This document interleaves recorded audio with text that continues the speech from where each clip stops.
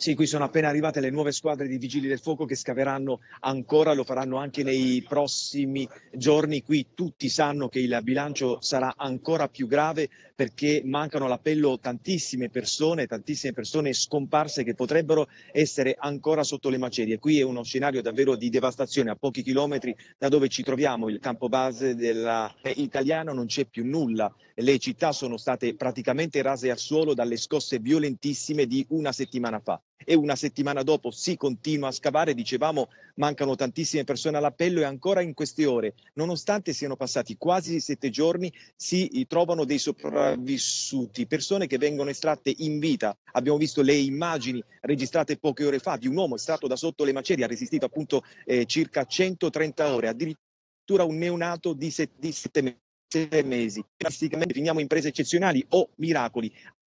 Chiesto come abbiamo come sia possibile accadere ad uno dei nostri uomini dei vigili del fuoco più esperti che ha seguito diversi terremoti dando proprio le squadre dei vigili del fuoco in missione qui in Turchia e lui ci ha raccontato, lo sentiremo in questa intervista, può accadere ancora se saremo veloci. Sentiamo allora le sue parole.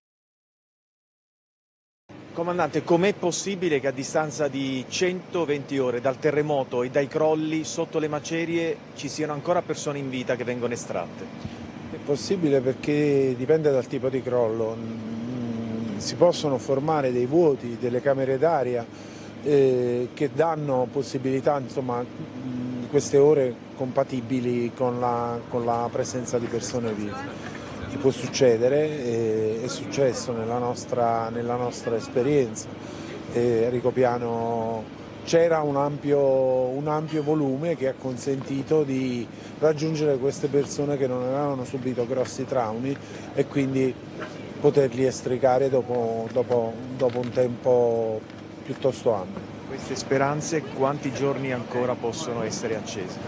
Ma non, non c'è un tempo definito, noi continuiamo e l'obiettivo di, eh, dei moduli operativi è di arrivare ad avere certezza a dare delle certezze in termini di possibilità di trovare delle vite umane.